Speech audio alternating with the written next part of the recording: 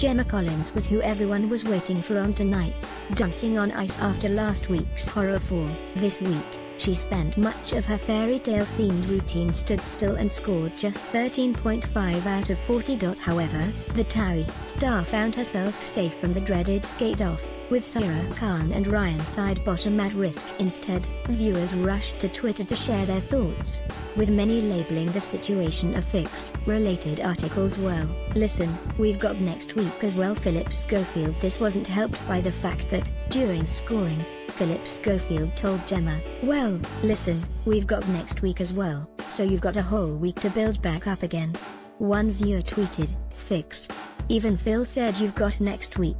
Another wrote, who the F, is voting for this clown? Gemma do one. A third asked, are you having a laugh? Gemma was terrible, yet she's through again. Safe, Gemma Collins dodged the skate off, pick, ITV, skate off, Saira Khan and Ryan Sidebottom were in the bottom two, pick, ITV, 5C574 F9B9 C5C93833129 Yeah someone said, oh you're taking the FNP now, dancing on ice, absolutely beyond a joke. And, a fifth continued, this is ridiculous. Really thinking this is now a fix to get ratings. Gemma should be gone. So angry better skaters being overlooked for her standing on ice.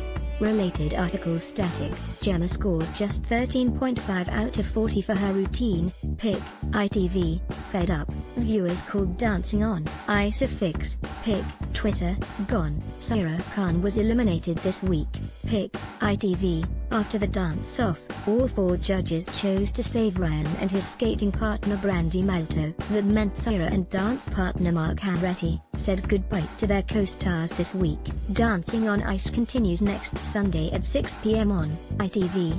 Daily Star Online has contacted ITV for comment. Related article.